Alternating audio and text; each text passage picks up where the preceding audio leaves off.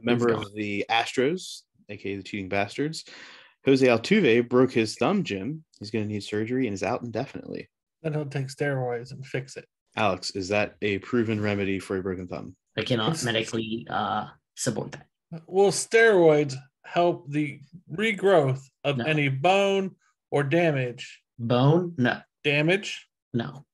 You're not going to help. I mean, you're not going to fix something that's broken because you're using steroids. Can what about human growth hormone? I mean, I don't, I don't know the science behind that, but I'm going to go no. I'm going to go if you need to have the surgery or whatever you need to have done, and rehab it and fix it like a normal human being. Well, you've admitted you don't know the science, so I don't believe you. Please don't take steroids, Jim. That is the last thing you need.